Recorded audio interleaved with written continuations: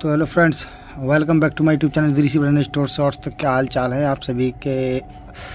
और उम्मीद करता हूँ अच्छे से होंगे। आज मैं कुछ प्लांट शॉपिंग दिखाने वाला हूँ जो मैं खरीद करके लेकर आया हूँ प्लांट जैसे कि कुछ अच्छे लगे मुझे। जैसे कि नर्सरी गया था मैं तो ये देखें जैसे कि कल ही लेकर के आया हूँ मैं, जो कि श्री दुर्गा नर्सरी पे था ये अवेलेबल और ये बिल्कुल एकदम अडेनियम और उसकी तरह ही खिलता है इसका फूल गुलाब की तरह।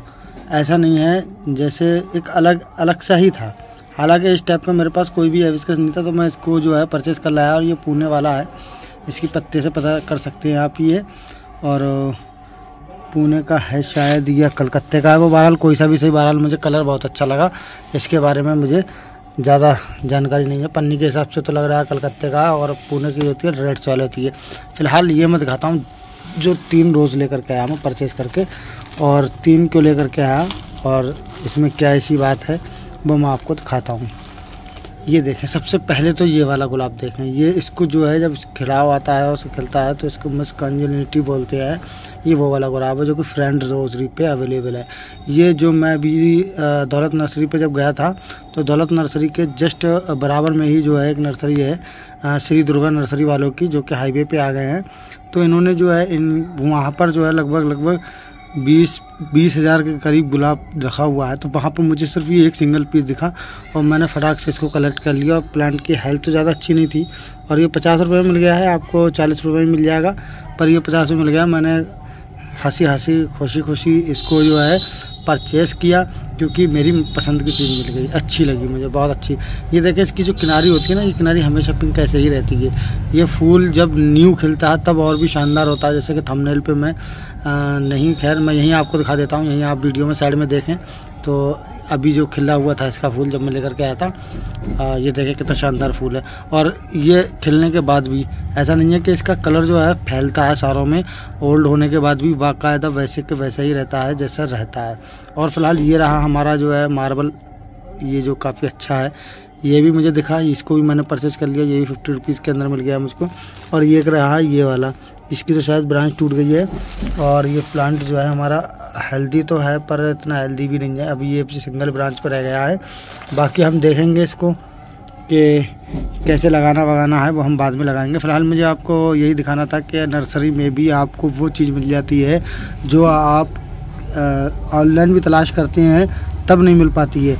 मगर हाँ बशर्त ये शर्त यही है कि आप जैसे ही नर्सरी स्टार्ट हों, जैसे आप अक्टूबर से स्टार्ट हो गया, आना शुरू हो गया माल अब अगर आप जाएँगे, तब आपको जो है इस तरीके की नस्लें वैरायटी और कलर मिल जाएँगे। और अगर आप आखिर में जाएँगे, जैसे कि आप मान लीजिए, पंद्रह अभी अठा, कल दो दो दिन पहले ही मैं इनको लेकर के आया हूँ। अगर हम, अब आप मेरे बाद जाएँगे तो ये चीज़ नहीं मिलेगी आपको। अगर आप मुझसे पहले पहुँच गए होते तो ये चीज़ जो है आपको मिल गई होती, ये आप ले लेते कलेक्ट कर लेते। तो ऐसा ही होता है कि नर्सरी में भी ऐसा नहीं है कि वैरायटी नहीं मिलती है। सब वैरायटी होती है बट वो नेम पे इतना जो है निर्भर नहीं रहते हैं, और वो इसी तरीके से डायरेक्टली सेल करते रहते हैं। तो फ़िलहाल ये मेरा जो था तीसरा वाला गुलाब मैं बताऊँ ये वाला था मेरा पिंक या रेड इंस्टीट्यूशन है जो कि काफ़ी अच्छा था। इस पर ही गुलाब खिला हुआ था पर जब गाड़ी का झटोका लगा तब जो है ये यहाँ से डो, डो, डोल गया और ये यहाँ से ग्राफ्ट वाला एरिया तो नहीं है घर मगर उसके बराबर से शकर ब्रांच निकली हुई थी ये। तो यहाँ से जो है सॉरी शकर का नाम आ रहा है बेसल सूट निकली हुई थी तो यहीं से जो है ये जो है टूट गई, मुड़ गई। क्योंकि गाड़ी का जब झटका लगता है तो बड़ी बड़ी अच्छी चीज़ टूट जाती है। ये तो फिर भी नाजुक सी एक वो थी और फूल भी माशाल्लाह काफ़ी अच्छा लगा हुआ था।